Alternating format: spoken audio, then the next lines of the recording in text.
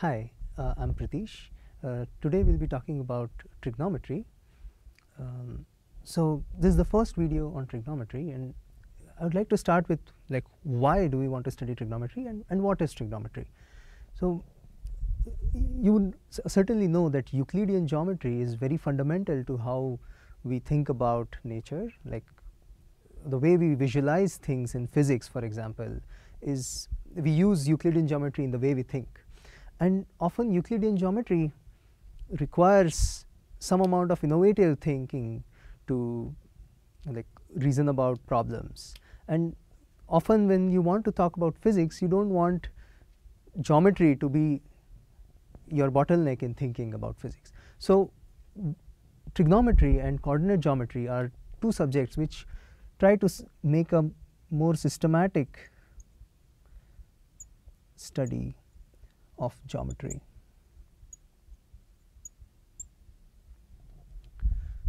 And, and what is trigonometry? Trigonometry is about a study of angles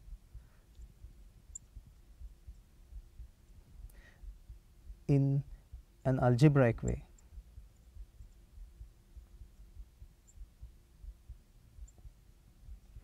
So, I mean you would know that algebra you would feel more comfortable doing algebra uh, and there is like algebra is often you can something you can do um, in a more mechanical way whereas geometry often requires a sort of an innovative leap. So, using trigonometry we will be able to reason about geometric problems in a more algebraic way right. So, so let us start with the very basics of what is an angle right. So, so you know from basically Euclidean geometry that if you have a circle of radius r then the perimeter is equal to 2 pi r. Right. So, we know this from basic geometry and like a basic reasoning will tell you that okay, if I take half of a circle right, the length of the arc of a half a circle is pi r. So, if I take this length this is pi times r. Similarly, if I take a quarter circle, so maybe this thing this will be like pi by 2 r right. So, in general like if I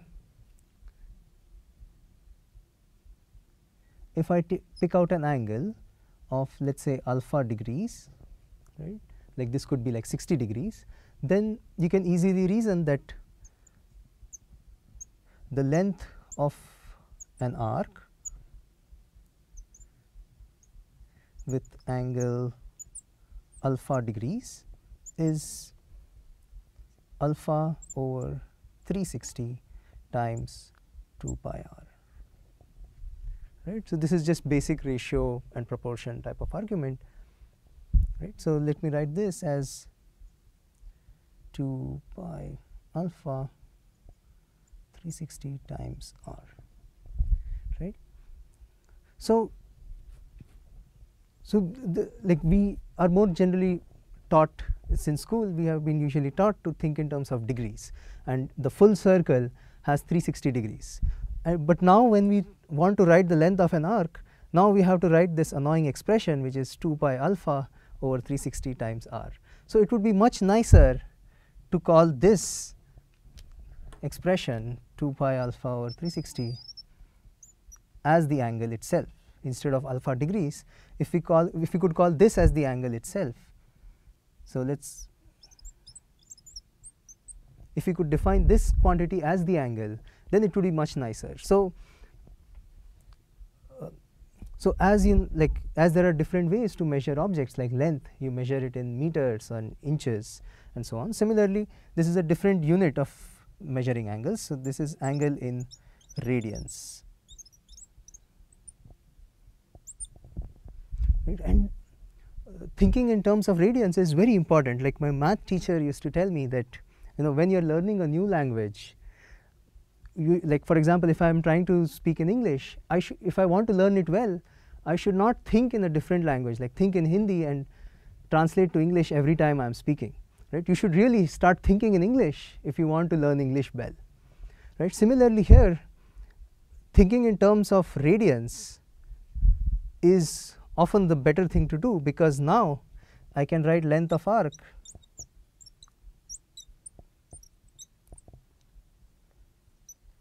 with angle theta in radians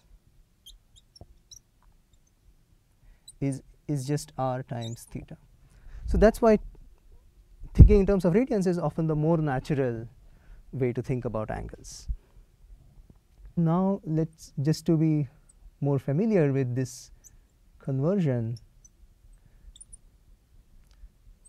let's see that for example 360 degrees you know is 2 pi radians that is what we just saw here right. The perimeter of the entire circle is 2 pi r and 2 pi is the angle of the entire circle. Similarly 180 degrees is like pi, 90 degrees is like pi over 2 and so on. So, we just saw uh, how to measure angles in degrees and radians and we said that radians is the more natural unit to think about angles. So, that now the length of the arc with angle of theta radians is just r times theta.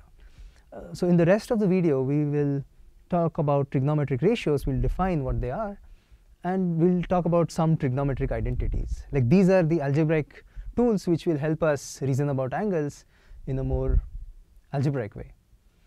Okay. So, let us look at an angle and let us say that the angle is theta. So, whenever you write theta as the angle it is assumed that it is in radians because radians is as we know the more natural way of thinking about angles. And now let us say that the ra radius is r. So, we we just saw from here that the length of the arc is r times theta right. Now, there are other interesting parameters that you would want to know about the angle. For example, if I drop a perpendicular from here right what is the height of this line segment? Right? So so let's call this line segment right? So let's call this a b and c so this line segment is the the side that is opposite to our angle the side AC is the side that is adjacent to our angle and this side is the hypotenuse.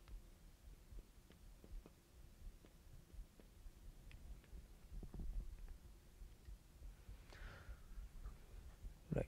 So, we would like to know what the height of this seg line segment BC is and one thing that you would know from similarity of triangles is that suppose I have two triangles like this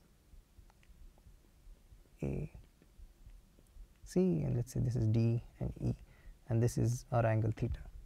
You know from similarity of triangles that BC divided by AB is equal to so note that these are right angles equal to DE divided by ED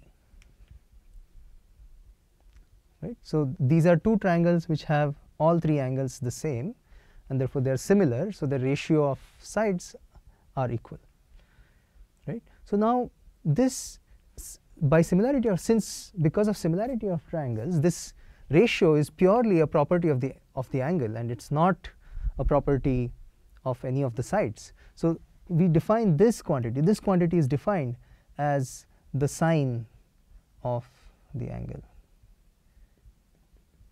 sine of the angle right. So, to remember it more easily let us call sine theta as the opposite side divided by the hypotenuse.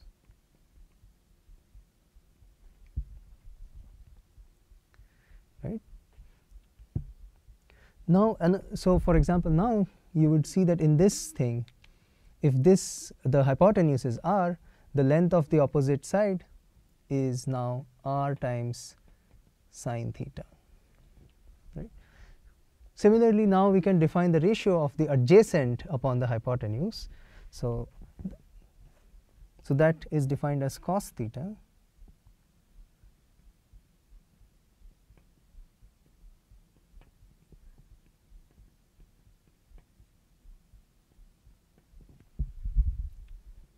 So, now the adjacent side if since the hypotenuse is of length r this thing is of length cos theta right. So, in terms of this ratio it will be AC divided by AB which is also same as AE divided by AD. This is the cos of the angle and by similarity of triangles this is just a property of the angle and does not depend on the sides of the triangle. Okay. So, now we will see our first trigonometric identity right.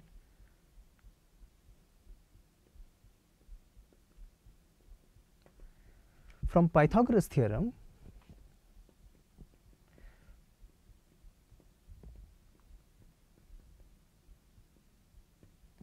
we know that for any right angle triangle the sum of squares of the two sides is equal to the square of the hypotenuse. So, let me write it here in the colloquial language opposite square plus adjacent square is equal to hypotenuse square. This is what Pythagoras theorem tells us and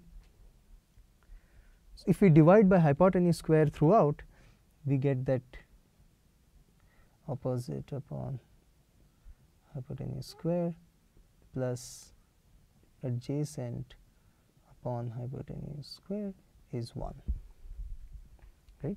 But if you look at our definitions of sine theta and cos theta this tells us that sine theta square plus cos theta square is equal to 1.